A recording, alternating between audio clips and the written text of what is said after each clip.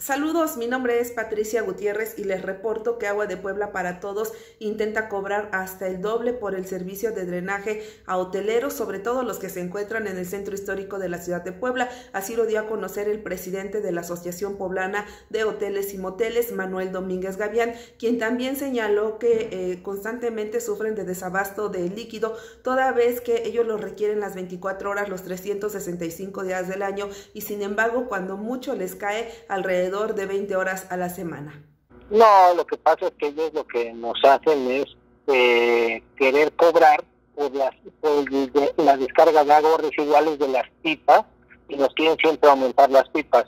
No, ustedes compraron más pipas, y ustedes compraron más pipas, están utilizando más pipas de las que ustedes están este, declarando. Entonces llegamos a problemas con eso.